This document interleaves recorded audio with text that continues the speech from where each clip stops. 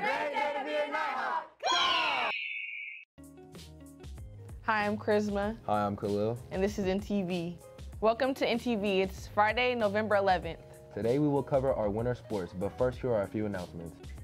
Just a reminder that your senior trip deposit is due December 2nd. Any customized Jostens orders like announcements, invitations, class rings, and so on are due by December 1st. Applications are still available for seniors who want to participate in Senior Takeover Day.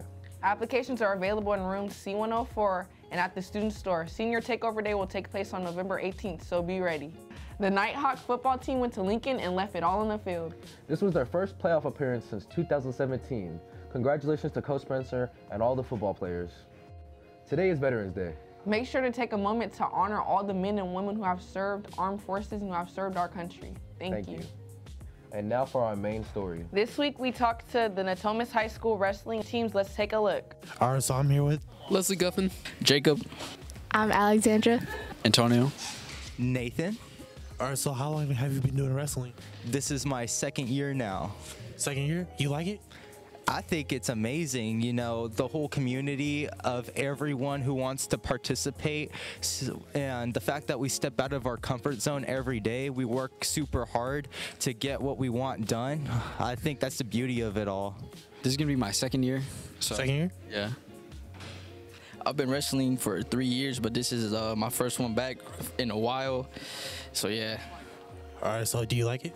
Yeah, I really like it. I like the I like the uh, the, the mental part about it, and the physical part is just uh, the challenge. is not for everybody, but if you want to try it out, you really should. It's just it's a really fun sport. This is my first year, yeah. So what uh, made you want to do it? Um, just everything about it, like the mental, the physical, just you know, it just toughens you up, you know, as a person, you know. And if you, if, you, if you're playing football, you should probably join as well. So Like um, this year, All right, so how do you get into it? You could just like show up to the gym and talk to coach. Is it too late to join? No, in fact, we're recruiting more of wrestlers. So, you guys, if you guys want to participate, step on up, come over, come to one of our practices, because we're recruiting as many people as we can get.